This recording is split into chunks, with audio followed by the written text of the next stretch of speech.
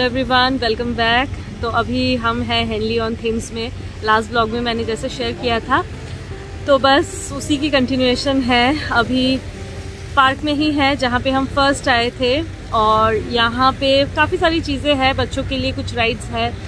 फिर Thames river जो है, ये नेम बेसिकली है हेनली ऑन थेम्स मतलब ये थेम्स रिवर के ऊपर ये टाउन है। तो इसलिए इसका नाम है हेनली ऑन थेम्स तो ये ये जो रिवर है पास में तो ये थेम्स ही है। काफ़ी सारे बोट्स यहाँ पे रखे हुए हैं। कुछ लोग तो चला भी रहे हैं तो बोटिंग हो रही है। काफ़ी डक्स है। तो काफ़ी बड़ा सा पार्क तो अभी जस्ट हमने वॉकिंग स्टार्ट ही की है। तो देखते हैं धीरे धीरे और क्या क्या देखना होता है आज।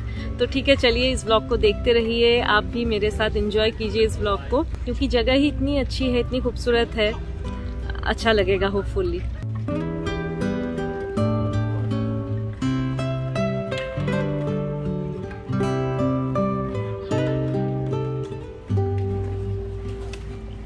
सारे डक्स हैं यहाँ पे। वो बोटिंग चल रही है वहाँ पे। तो काफ़ी सारे बोट हैं यहाँ पे। यहाँ पे जैसे ये लोग बोटिंग कर रहे हैं और यहाँ पे छोटे छोटे बोट्स हैं जिसको कैनोज बोलते हैं। तो वो रखे हुए हैं।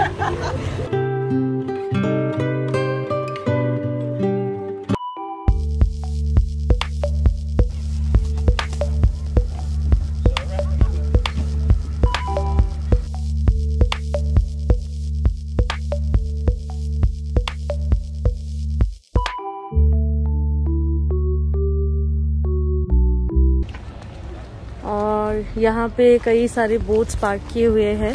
ये सारे प्राइवेट बोट्स हैं।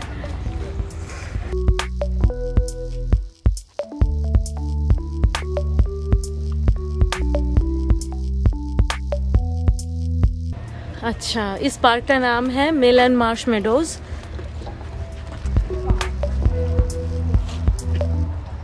तो अभी तो हम एक साइड पे हैं, अभी शायद दूसरे साइड पे जाएँगे, है ना?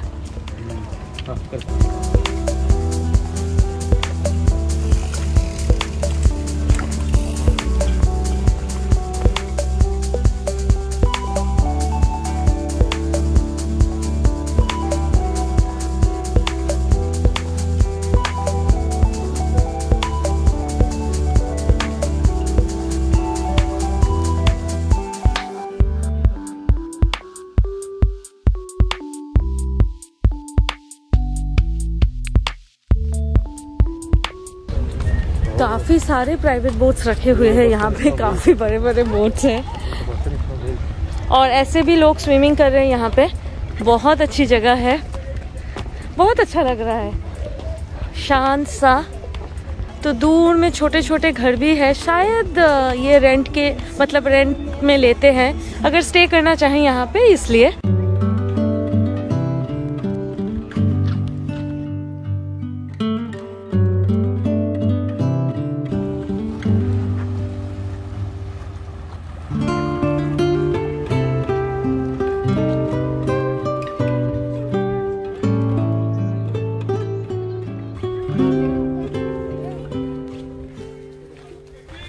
यहाँ पे एक बड़ा सा ट्री गिर गया है।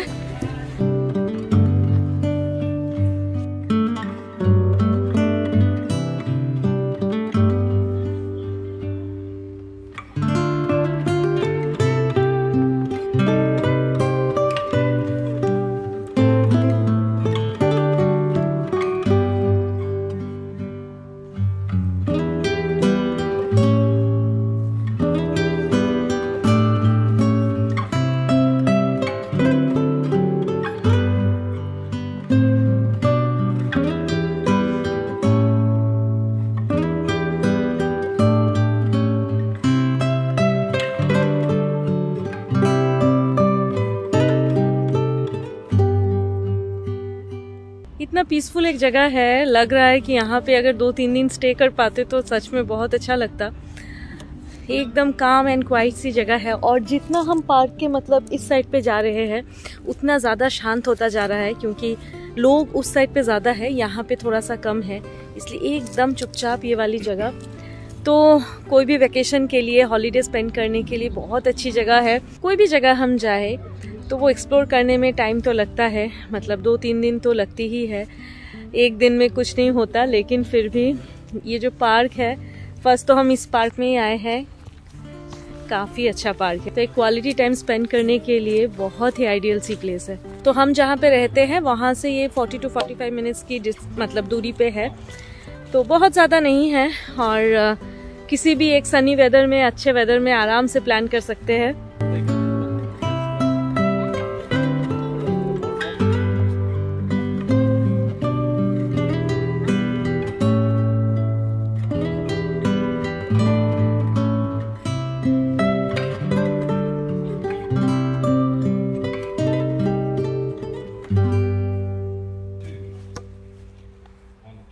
अभी चल रहे हैं थोड़ा सा टाउन की तरफ़।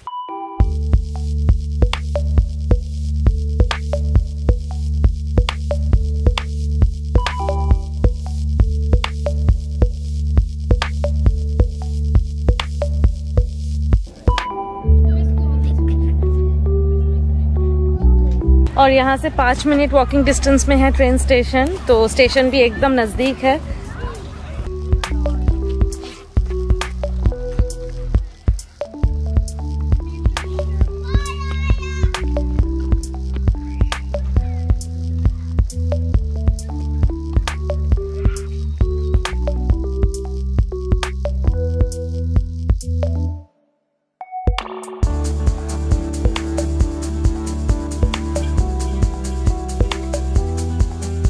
अभी हम आ गए हैं टाउन की तरफ़।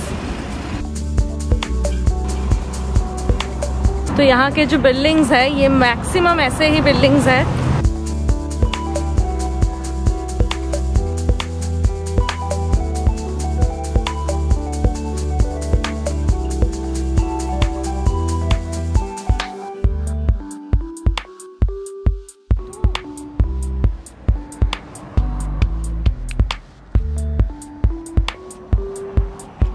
स्टेशन जो कि टाउन और रिवर से काफ़ी नज़दीक है।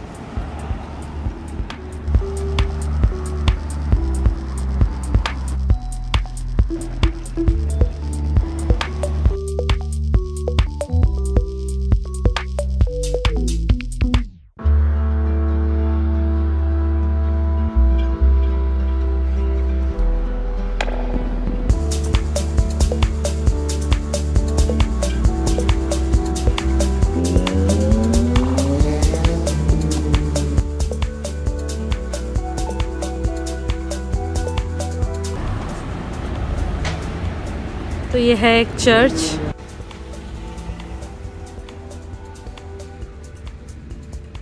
तो ये है थेम्स लॉज जो देख के लग रहा है, इनका आर्किटेक्चर और बिल्डिंग के डिज़ाइन देख के पता चल रहा है कि ये कितने पुराने हैं।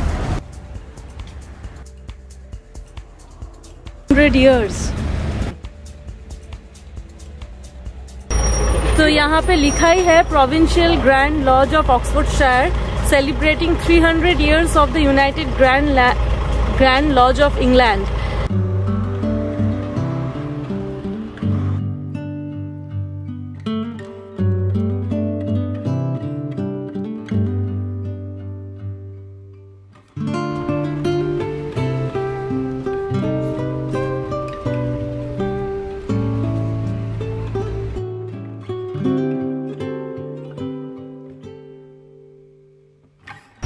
ये जो बिल्डिंग है, ये काफ़ी कलरफुल है, काफ़ी सारे कलर्स है इसमें। तो ये घर है छोटे छोटे घर एकदम।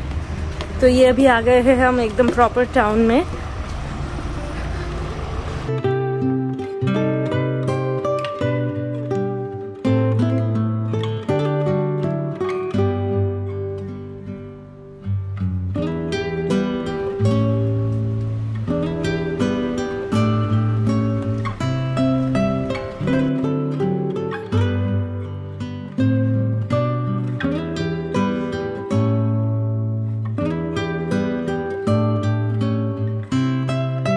तो ये जो टाउन है, ये बहुत पुरानी एक टाउन है। तो इसका जो आर्किटेक्चर है, इसके बिल्डिंग्स है रोड है, सच में देख के ही पता चल रहा है कि ये कितने कितने सालों पुरानी है। काफ़ी ओल्ड कार्स देखने को मिल रहे हैं यहाँ पे।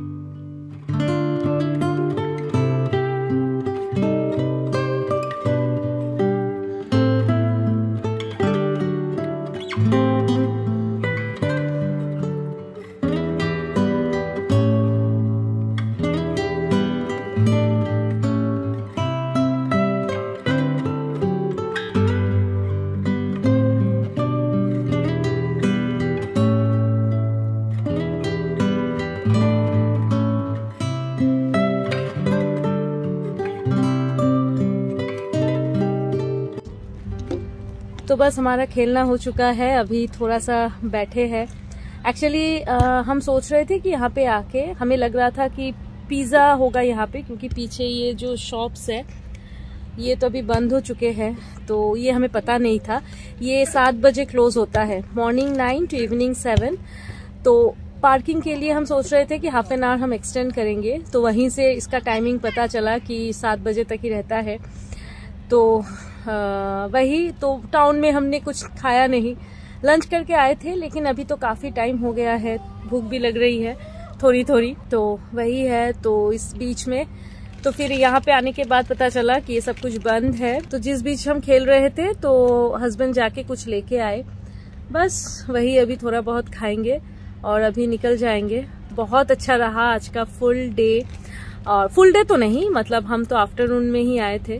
चार बजे हम रोहन के वैक्सीनेशन सेंटर से चार बजे हम वहाँ से आए तो ये दो तीन घंटा काफ़ी अच्छा गया। इतनी खूबसूरत सी जगह है मतलब ये जो टाउन है, सच में मतलब ये बोलते हैं कि one of the beautiful towns in England ये सच है, काफ़ी खूबसूरत है। और हेनली ऑन थेम्स के बारे में थोड़ा बहुत कुछ इन्फॉर्मेशन मैं आप लोगों के साथ शेयर करूँगी। कि ये जो टाउन है ये एक्चुअली काफ़ी पुराना एक टाउन है। तो ये ट्वेल्थ सेंचुरी की टाउन है और ये लोकेटेड है साउथ ऑक्सफोर्ड शहर में। और ऑक्सफोर्ड शहर जो है ये है एक काउंटी तो काउंटी जो होता है मैं एकदम सिंपल लैंग्वेज में बता रही हूँ। काउंटी मतलब हम बोल सकते हैं हमारा जैसे स्टेट होता है तो स्टेट से छोटा लेकिन सिटी से बड़ा मतलब आ, ये है। और काउंटी के अपने गवर्नमेंट होते हैं। जिनके अपने खुद के रूल्स, अपने खुद के अथॉरिटीज़ तो ये होते हैं। तो इसी को बोलते हैं काउंटी तो ऑक्सफोर्ड शहर काउंटी के अंडर आता है ये हेनली ऑन थेम्स तो बहुत अच्छा लगा कि टाउन में जब हम गए टाउन देख के ही पता चल रहा है कि ये कितना ओल्ड है। उसके जो बिल्डिंग्स है आर्किटेक्चर है, काफ़ी पुरानी है। एक बिल्डिंग मैंने आपसे, मैं शेयर किया है, वो 300 इयर्स पुरानी है। तो ऐसे काफ़ी बिल्डिंग्स है। काफ़ी कार मैंने ऐसी देखी कि काफ़ी पुराने मतलब जो जो विंटेज कार बोलते हैं वो। आ, लेकिन उस टाइम पे मेरा कैमरा ऑन नहीं था इसलिए मैं वो मतलब शेयर नहीं कर पाई। तो और एक चीज़ है हेनली ऑन थीम्स जिसके लिए ज़्यादा फ़ेमस है वो एक्चुअली यहाँ पे एक एनुअल रोइंग इवेंट होती है। जो एक काफ़ी बड़ी मात्रा में होती है और इस इवेंट में कॉम्पिटिशन्स होते हैं। बाहर से कॉम्पिटिटर्स आते हैं विजिटर्स आते हैं मतलब काफ़ी हैपनिंग रहती है वो टाइम तो ये काफ़ी फ़ेमस है हेनली ऑन थेम्स की। और ये जो इवेंट है, इस इवेंट को बोलते हैं रॉयल रुगाटा तो इसका प्रोनाउंसिएशन ऐसा है रुगाटा तो वही है, इस इवेंट का नाम है रॉयल रुगाटा तो यही है ये जगह के बारे में, थोड़ी बहुत चीज़ें। तो बस अभी जाने का टाइम हो गया है। सात अभी सात ही बज रहे हैं। जाएँगे कुछ खाएँगे। खाने में तो आ, कुछ चिप्स क्या क्या है? खाने में क्या लाए हो?